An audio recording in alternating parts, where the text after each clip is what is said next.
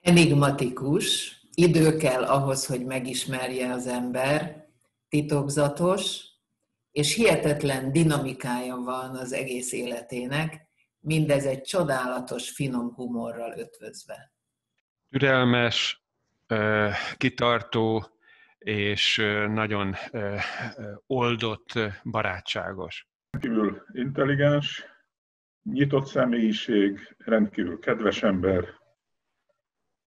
és jó barát milyen emberi, rendkívül empatikus, határozottan, pontosan tudja, hogy milyen irányba akarja terelni mondjuk a beszélgetés, nagyszerű tanár. Nyitott gondolkodó, rugalmas. Elmélyülő, mérlegelő, ugyanakkor gyorsan tud reagálni a mindenkor felmerülő problémákra, legyenek azok kis problémák vagy nagyobb problémák, toleráns, együttműködő.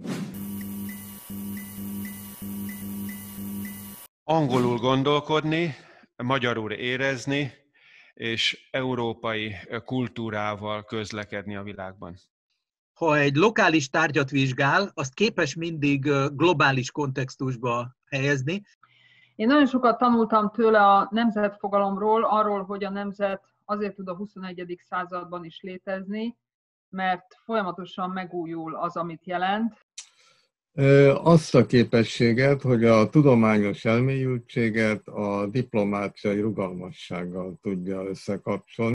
Azt a rendkívül differenciált világlátást. Képes egyszerre közép-európai lenni és nyugat-európai, nyilván az élet útjából következik, tehát azt is mondhatnám, hogy ő az, aki a nyugat-kelet párbeszédben mind a két oldalon áll egyszerre, kultúra közvetítő. Ezt a fajta problémaérzékenységet, a kérdéseknek egy nagyon átfogó és mégis nagyon pontos kontextusba helyezését, és emellett azt, hogy hogyan lehet a megoldások felé is elmozdulni. Úgy foglal állást nagyon megalapozottan bizony, és nagyon határozottan bizonyos kérdésekben, hogy azt képes nem fanatikusan és egyoldalúan, hanem sok nézőpontot mozgósítva elvégezni. Türelem és tudás nélkül nem jutnak előre az életben. Ami számomra a legfontosabb volt és a legmeghatározóbb, az az, hogy az igazi párbeszéd híve. Az egyik a tehetség, ami kétségtelen és elvitathatatlan, egy hallatlan polgári műveltség, és ebből ugye a szorgalom és a, és a, a szerencse, a mosolygós tekintete.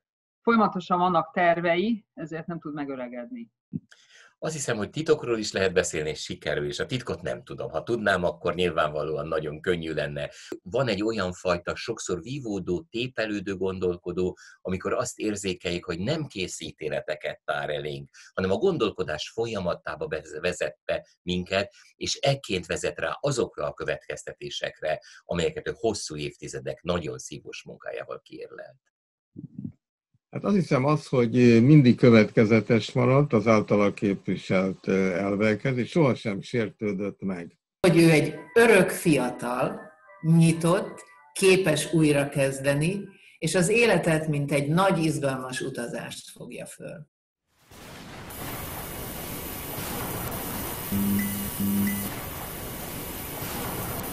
Mm-hmm.